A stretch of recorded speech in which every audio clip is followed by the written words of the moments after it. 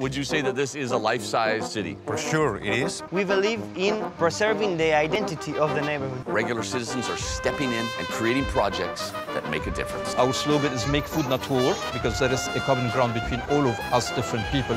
We all need more green spaces. Now you can actually get the street clothes for play. Because playing is a basic human right, and the whole point is to build a better future for themselves. A new season of The Life-Sized City